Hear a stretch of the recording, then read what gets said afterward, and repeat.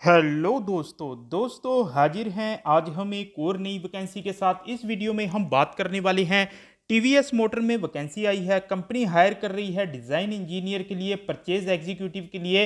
Fresher candidate यहाँ पर eligible रहने वाले हैं। डिप्लोमा, बी बीटेक के लिए लेटेस्ट वैकेंसी ये रहने वाली है। यहाँ पर टीवीएस की ऑफिशियल वेबसाइट फ्रेंड्स मैंने ओपन कर ली है। यहाँ पर हम इसको स्क्रॉल डाउन कर लेंगे। ये देखिए, यहाँ पर इसको स्क्रॉल डाउन करेंगे तो लास्ट में ही हमें करियर का ऑप्शन नज़र आएगा। करियर के पेज पर हमें यहाँ क्लिक कर लेना है। ये देखिए करियर के पेज पर क्लिक करते ही यहाँ हमें शो होगा। View current opening view current opening पर यहाँ क्लिक करते ही लेटेस्ट वैकेंसी यहाँ पर हमें शो हो जाएँगी, जो टीवीएस मोटर की तरफ़ से लगाई गई है। ये देखिए, यहाँ पर 192 रिज़ल्ट इंडिया के लिए शो हुए हैं। यहाँ पर हमें इसको स्क्रॉल डाउन कर लेना है। ये देखिए यहाँ पर स्क्रॉल डाउन करेंगे तो यहाँ पर फ्रेंड पहली जो वैकेंसी है प्लानिंग एग्जीक्यूटिव के लिए कंपनी ने लगाई है। आगे हम स्क्रॉल डाउन करेंगे तो डिज़ाइन इंजीनियर वायरिंग हायरनेस के लिए यहाँ पर लेटेस्ट वैकेंसी कंपनी ने लगाई है। तो यहाँ पर डिज़ाइन इंजीनियर पर हम क्लिक कर लेंगे। ये देखिए, यहाँ पर फ्रेंड 14 अप्रैल 2023 की लेटेस्ट जॉब है। R and D D and D department की आपकी ये जॉब रहने वाली है। वाइट कॉलर आपकी ये जॉब रहेगी।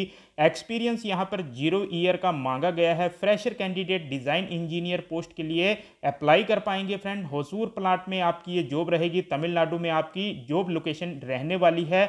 यहाँ पर परचेज एग्जीक्यूटिव के लिए भी देख लेते हैं। यहाँ पर क्या कंपनी ने वैकेंसी लगाई है। ये देखिए, यहाँ पर हम स्क्रॉल डाउन करेंगे।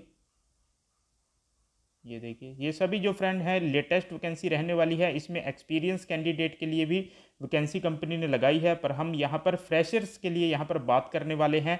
यहाँ पर प्लानिंग एग्जीक्यूटिव के लिए लेटेस्ट वैकेंसी लगाई गई है। यहाँ पर एक्सपीरियंस ज़ीरो ईयर का मांगा गया है। N A not applicable experience यहाँ पर रिक्वायर नहीं है। चौदह अप्रैल 2023 की लेटेस्ट जॉब है। वाइट कॉलर आपकी ये जॉब रहने वाली है। B B tech diploma candidate यहाँ पर अप्लाई कर पाएँगे। और डिज़ाइन इंजीनियर के लिए भी diploma, B BTech candidate eligible रहने वाले हैं। कैसे अप्लाई करना है वो भी एक बार आपको यहाँ पर फ्रेंड्स मैं दिखा देता हूँ। ये देखिए, डिज़ाइन इंजीनियर पर यहाँ पर क्लिक करेंगे और यहाँ पर आपको अप्लाई फॉर दिस जॉब का ऑप्शन नज़र आएगा। अप्लाई फॉर दिस जॉब पर क्लिक करते ही यहाँ पर लॉगिन आईडी और पासवर्ड मांगेगा। अगर हमने पहले अप्लाई किया है तो enter email ID, enter password fill करके हम साइन इन करके अप्लाई कर पाएँगे। अदरवाइज़ यहाँ पर आपको साइन अप पर क्लिक कर लेना है।